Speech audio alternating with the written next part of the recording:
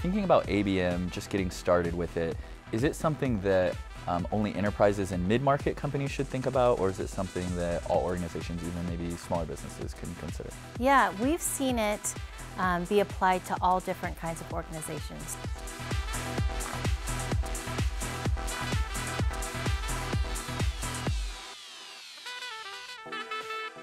Traditionally, ABM has been kind of more of a sales approach. Um, it, it's all about you know one-to-one. -one. Marketing and sales obviously have to be aligned. Mm. Marketing, you know, um, has to bring in um, the right people at the right accounts that sales wants to close, mm -hmm. and then that process has to flow seamlessly through inside sales and outside sales for that whole, you know, funnel to work.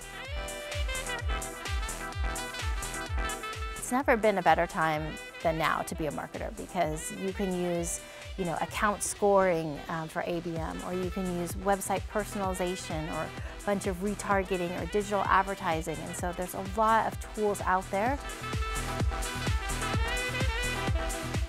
So we look at the marketing qualified account to opportunity rate, and we compare that against non-MQAs to opportunities, and we have to make sure that that metric is a reliable proxy for somebody that's going to enter a sales fund.